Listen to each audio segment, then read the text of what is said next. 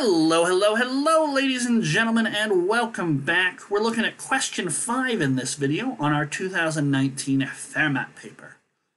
Mike rides his bicycle at a constant speed of 30 kilometers per hour. How many kilometers does Mike travel in 20 minutes? And notice it's minutes there, but hours here.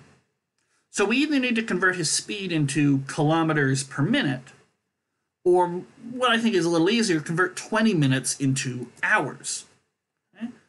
So 20 minutes, well, how many minutes are there in an hour? In one hour, there are 60 minutes.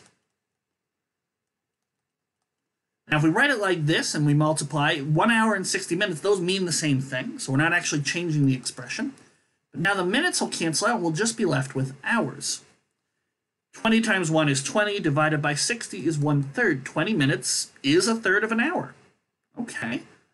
Now the speed is 30 kilometers per hour. We know how long he is going at that speed, a third of an hour. Hours cancel out, we're left with kilometers.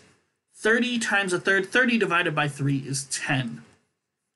So he goes 10 kilometers in 20 minutes. That's, that's how far Mike goes. And uh, that's going to be over here on the end. So we'll bubble in E, and we'll get ourselves a fresh sheet of paper to take a look at question number 6. But we'll do that in the next video. So thank you guys so much for watching, and uh, until the next video, take care and have a wonderful day.